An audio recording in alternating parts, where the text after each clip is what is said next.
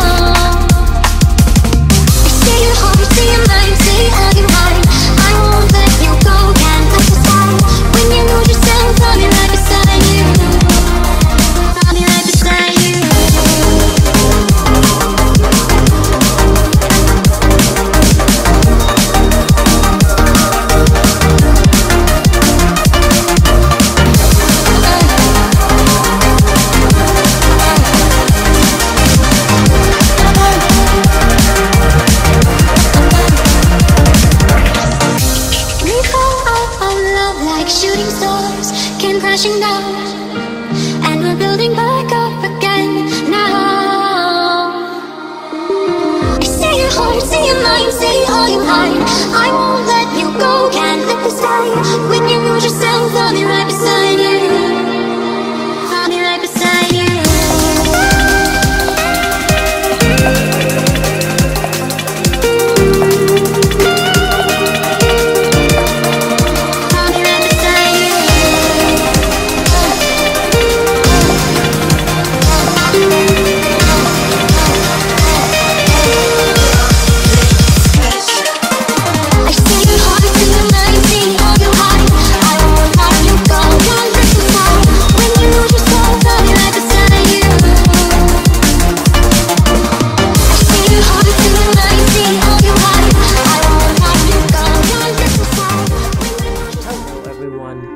Pui, or Poi, just don't call me Pie, or Pui, and I've got a special one for you today. For this deck in front of me is not Panda Bird, and it is not my deck. This in front of me is the Cat Burn list that was played by Tommy Huta, who, at the time of recording, is currently top of the Dueling Book Goat Ladder at a rating of 1650. He sent this to me. He's hoping to get it out there, see if other people are willing to play it, because he thinks he's made some changes to the deck. I, for one, have been impressed with the changes he's made, and so I figured I would signal boost and share. So, what is the basic plan of the cat deck in general? In case you aren't familiar, what you're trying to do is play a rescue cat and use its ability after having activated Last Will. This will allow you to get an array of different monsters in the deck, including another rescue cat for another two beasts, or you can get a Sangan, or an Exiled Force, or an Injection Fairy Lily, or an additional panda that will stay on the field, or a Cyberstein, but we'll get to that later. And the idea is that you can create a lethal, or at least near lethal board out of these four beasts, or two beasts and something else, and then finish the game up with Burn, much like a standard Panda Burn sort of plan. We have Giant Trunade to clear the back row to make this easier. And we have Heavy Storm and Gravity Bind, which will lock down their monsters until we're ready for our Alpha Strike. Now, this deck, while somewhat similar to Panda Burn, is uh, different than Panda Burn mainly in that its attacks have to be a concerted effort, and in my opinion, in general, cat decks are worse than Panda Burn, and the reason for that is this card right here, Milus Radiant. Milus Radiant says that as long as this card is face up on the field, increase the attack of all Earth monsters by 500 points and decrease the attack of all Wind by 400. We're focusing more on that first effect. Since we only have 3 Deswombat, this is in fact the highest attack point target for a rescue cat, besides a boosted up Gyakugire Panda. Usually, this card is used to boost it up and deal extra damage. Here's the thing, it's garbage. Not only is this one of the worst garnets I have ever seen, something so horrible to draw that it's just unbearable to think of compared to the things that Pandaburn is playing, but it isn't even lethal when your opponent has 8,000 life points. It does not even kill them in one shot. It is not a one-shot kill. Why is it even worth playing? I don't know. So when Tommy started talking about the list, immediately I said in my head, if he is not playing 3 Milus, if he is only playing 2 Milus, I will know he's serious. And he is in fact playing only 1 Milus. And that's how I knew just immediately that this list was the real deal, because it has removed the worst card in the list and has replaced it with a better card. That better card being a Cyberstein. Why am I so hyped on Cyberstein here? Well, Cyberstein is a fantastic card, but is especially fantastic as a one-of that you can use when you need to within the combo. Now, we do have a lethal line. On an empty board, we can go Rescue Cat, sacrifice Rescue Cat after will, go Deswombat, Deswombat, Stein, and Stein for Master of Oz. This will deal more than enough damage, enough in fact that if your opponent has a set monster, you can attack over with one Wombat, then go in with the rest, and you'll still be close enough to lethal for almost any of these cards to do the job. He's so confident in the cat combo, this deck is only playing two trio. I haven't felt I needed it, although I might want to put a third in the sideboard. I'm not exactly sure. But he's only playing two trio here. I found that kind of interesting.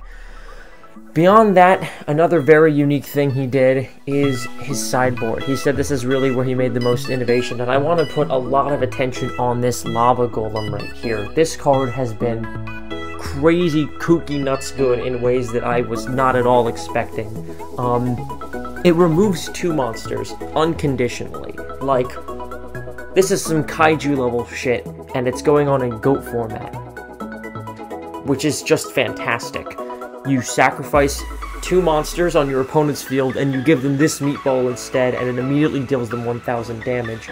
I want to point something out very important that happened in the replays, which is that in the game versus Don't Copy, um, copy Solemns to negate the Lava Golem. However, sending the two monsters to the graveyard is a cost, so his two monsters were supposed to be removed. So at the very least, this card removes monsters. More likely, it's going to be a unexpected prison piece and a clean answer to face downs, especially considering that the deck is already mainboarding 2 Gravity Bind and 2 Level Limit. You'll be able to lock this down, and you'll be able to deal damage with it passively and remove their monsters, and you might be able to blow it up with Ring of Destruction. And on top of that, I discovered today that this does not say can only be special summoned, but must first be special summoned, and that means you can hit it with Premature Burial. Let me know in the comments if I'm wrong with that. I'm just reading the cards here. Um, but I'm pretty sure you can. Today I won a game by doing that. We went premature on the Golem, and then we ringed it, and it was awesome.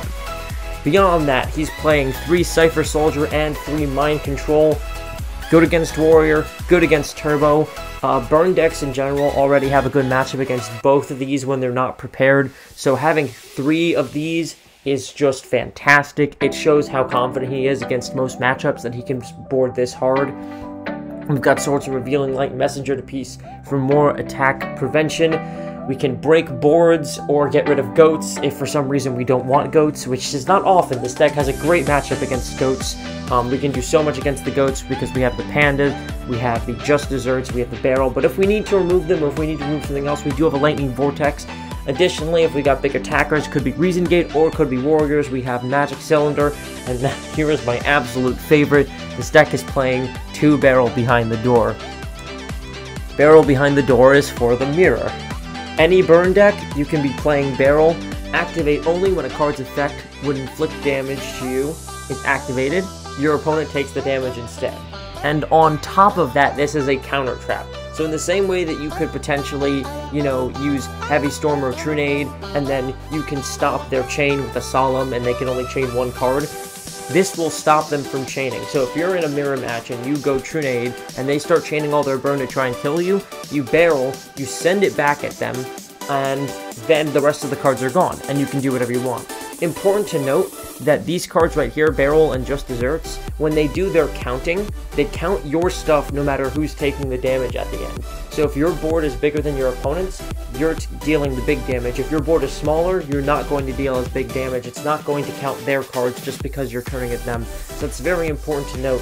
And lastly, we've got Snatch Steal. Snatch Steal is a very good Yu-Gi-Oh card, especially in conjunction with Lava Golem. Give them the Golem, steal the Golem, hit their face, and it's a good time. Um, Cat decks have been making their way around in the meta. I have not ever been so confident in them. I've always thought Panda was better. This deck scares me, especially just with this one Milus and this Cyberstein. It's a big change. I've been loving Lava Golem, um, and it's been getting major results. All of the games you saw, not my games, but Tommy Huta's games, those are all against some of the top players on the ladder right now. He showed those to me because he wanted to make it abundantly clear that this deck was the bee's knees, and boy do I believe him. I've had a great time playing the deck myself, and I hope that you are willing to try it out. So, I'd like to thank, of course, Tommy Huta for sharing this list, and as always, I'd like to thank Jinzo and Tonic for giving me the chance to share this all with you on his channel. And with that, I would like to wish you all a wonderful day. Thank